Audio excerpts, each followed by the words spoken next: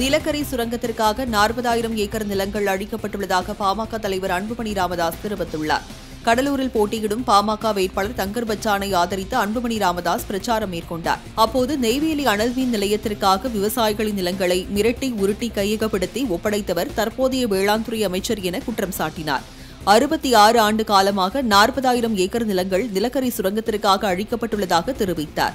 மேலும் தமிழ்நாட்டையும் மக்களையும் நாசப்படுத்திய அதிமுக திமுகவுக்கு இந்த தேர்தலில் பாடம் புகட்ட வேண்டும் என்று அன்புமணி வலியுறுத்தினார். உலகம் முழுவதும் புதுப்பிக்க வல்ல எரிசக்தியை மாத்திட்டு இருக்காங்க. ரினியூவல் எனர்ஜி மாத்திட்டு இருக்காங்க. உலகம் முழுவதும் போயிட்டு இருக்கு மாத்தி ஆனா இங்கவன் எனக்கு இப்படிதான் இருப்பேன் இப்படிதான் மாத்த மாத்திக்க மாட்டேன். சரி நான் ஒரு யோசனை கொடுக்குறேன். இருபதாயிரம் பேர் வேலை செய்யறீங்கன்னு சொல்றாங்க. இப்ப என்எல்சியில அங்க அழிச்சது நாற்பதாயிரம் ஏக்கர் அழிச்சுட்டான். அங்கே நாற்பது ஏக்கரில் இன்னைக்கு புல்லு பூண்டு வராததில்லை.